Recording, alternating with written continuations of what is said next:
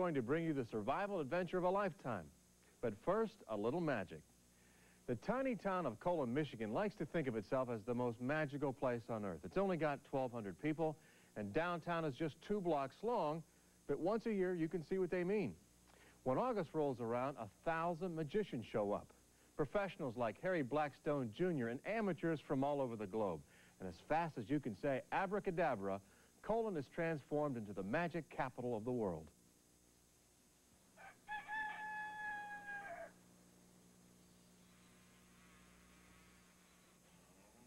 Fifty-one weeks out of the year, it's a normal place, a tiny little American town. But for a few days every August, hocus pocus, presto changeo, something strange happens to Colon, Michigan.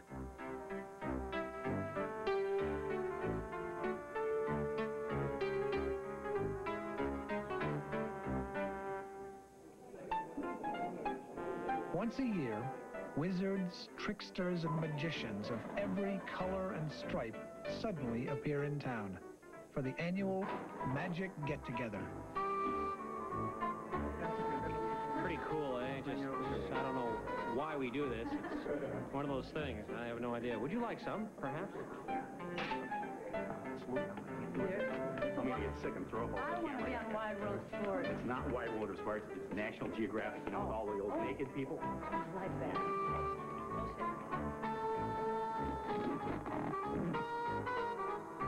We've got a show for you tonight. And to start the show, we've got everybody's favorite. He's Colon's own Blackstone.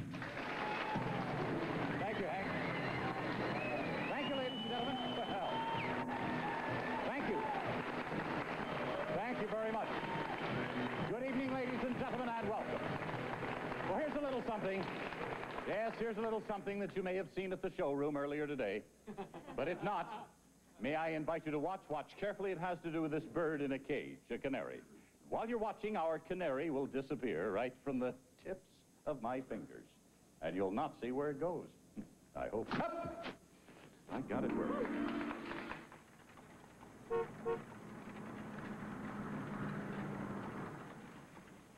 Colon usually has just over a thousand residents and only one traffic light.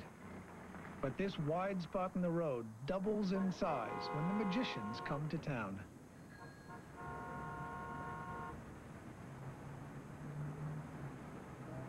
Probably the best known performer is Harry Blackstone Jr. The son of a famous magician, Blackstone was born and raised just outside of town. I come back here every year during the Magic Get-Together, something that's been going on for over 50 years. And we call it a get-together because it is literally that. We No, no, trade some card you have now. traditional ideas and merchandise is available, but this is a time to uh, kind of sit with your friends and enjoy the nice sunshine and uh, kind of kick back. Gentlemen. My name is Flint. I'm a wizard, and today I'm going to whiz for you. Come over here, that's all right, but you're swelling now, you're showing. Look at those teeth. Look at those teeth, show these teeth. Show the teeth. Looks like an overcrowded cemetery. Pick a card, that's right. Get in there. Get in there, choose a card, pull it out. Hold it up, show it to everybody. Look, watch this. Hello, how are you doing? Did you see my mouth move? No. Well, then look. Hello. It's no coincidence that Colon hosts the annual convention, since the town is also home to the Abbott Magic Company, the largest magic manufacturer in the world. Originally called the Blackstone Magic Company, the business was founded in 1934. Well, I think I'm just in time. Here I am. How do you do? I thought I'd be in time. Two famous vaudeville magicians, Percy Abbott and Harry Blackstone Sr., moved to town and went into business together. As I am about to saw little lady in two. Harry Blackstone Sr.'s most famous illusion, sawing a woman in half, is still a classic.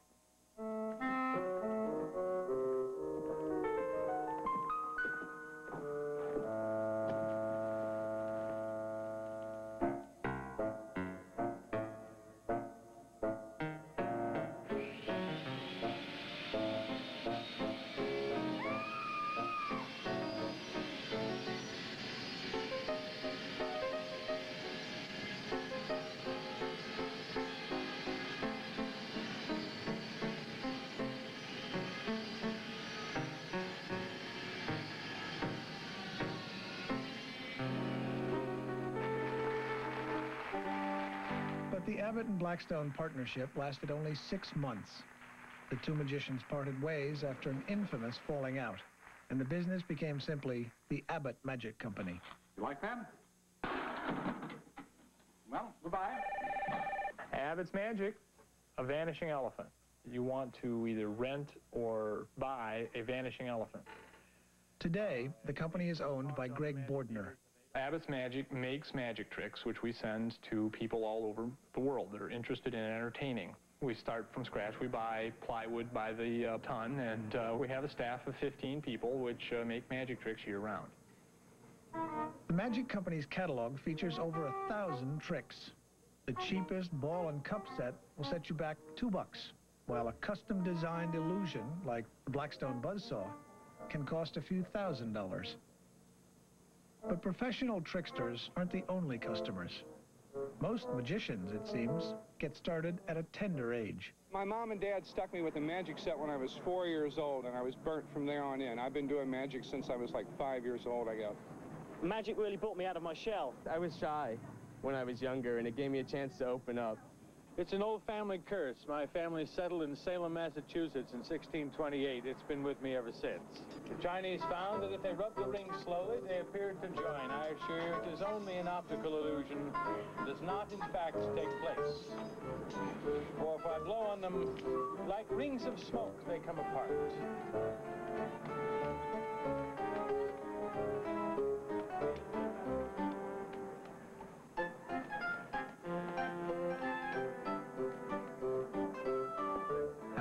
Got their start, every magician will tell you magic is a kind of addiction. The art of making the impossible seem possible can be a great deal of fun.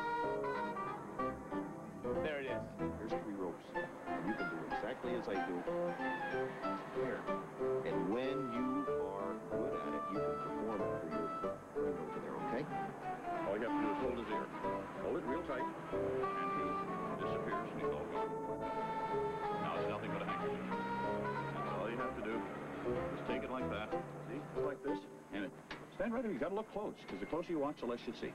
Okay? Just like that. Just like there, and it disappears. There it is, like there. Now, just before, remember the last time I did that like that, and it seemingly disappeared, and I went like that, and it was gone, and I reached under there. This time, if I want to find it, I can reach right under here, just like that, and find it. How about that? If you pull on a tassel, it becomes a tissel. A tissel becomes a tassel, and it goes back and forth all day like this. It never fails to go wrong. Being a magician is a very uh, vague term. It can be a lot of different things, as magic can be different things to different people. So uh, it's really an actor playing the part of a magician is the best way to describe it. The better actor you are, the better the magician you are. Legs and feet feel lighter and lighter and lighter. So light, in fact, that it feels as if it almost takes an effort to hold them down. So light, in fact, that if it were possible, it feels as if they could rest suspended on absolutely nothing but the air itself. Okay, I'd like to demonstrate the illusion of the torn and restored newspaper. Now, if you've never seen this particular effect, what I do is tear a newspaper completely to shreds, and then with the sheer magic of mental concentration, cause the pieces to recombine into the very same newspaper. So you'll know it when you see it again. I page through the paper very slowly. I ask that you remember some picture or ad from somewhere within.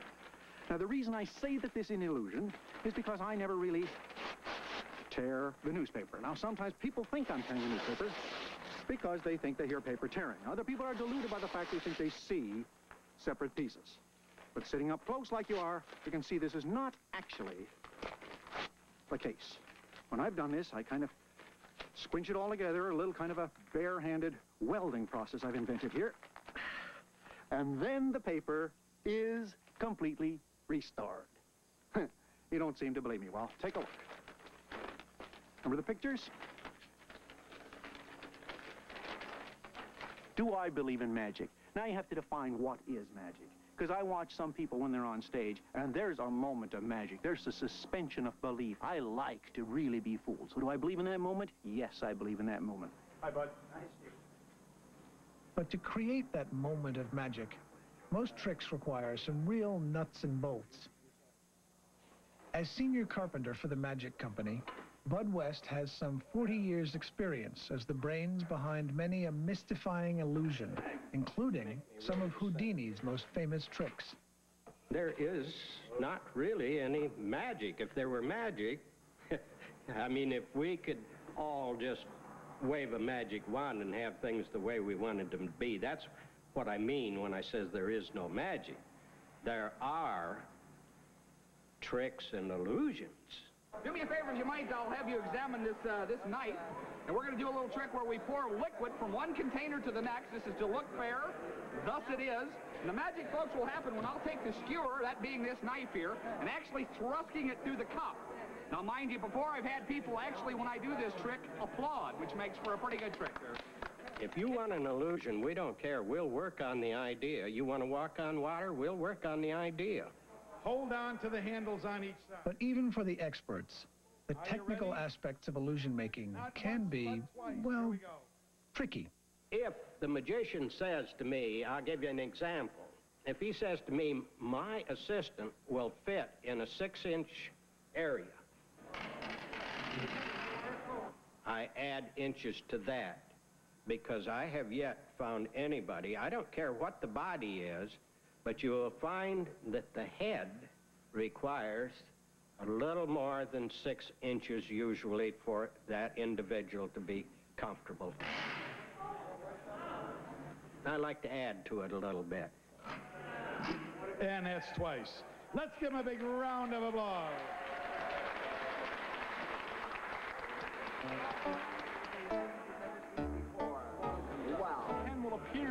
To go right straight through that quarter. Sometimes the person, the individual that gets fooled the most is the magician when he thinks that he fooled anybody.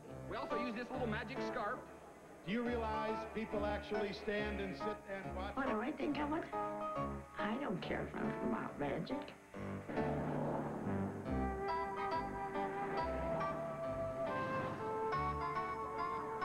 For most residents of Colon, Magic Week passes pretty much as usual.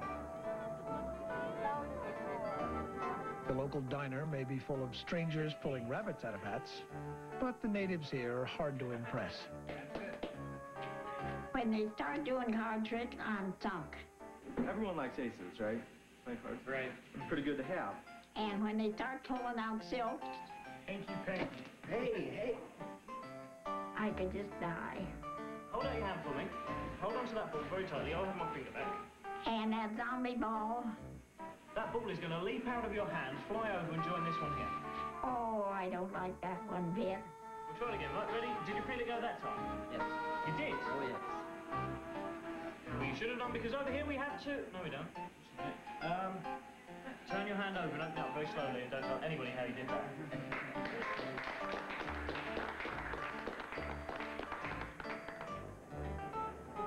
Despite a tough hometown audience, the final performance in the high school gym always plays to a full house. Oh, there goes the introduction of the show, and we're on first.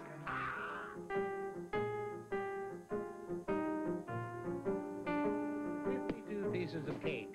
Now, you will notice that all of the cakes are the exact same size. There is no shortcake.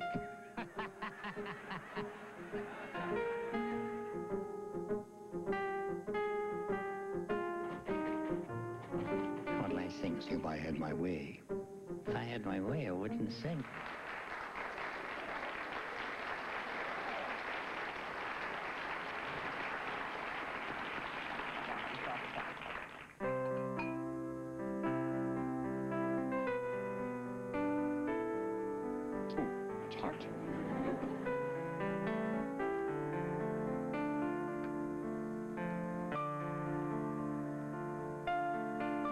Blackstone Jr.'s specialty is an illusion he learned from his father, the floating light bulb. All right, if I let you look at it, promise just to look. Don't touch. All right, then you may see it now.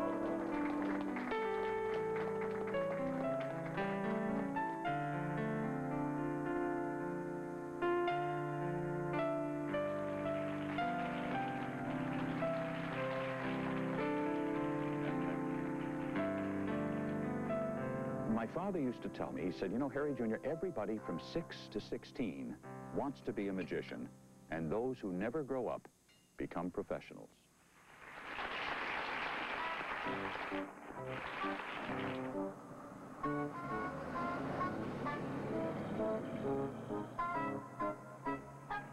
By week's end, when every trick in the book has been performed at least once, the magicians suddenly disappear. And the little town of magic becomes a farm town once again.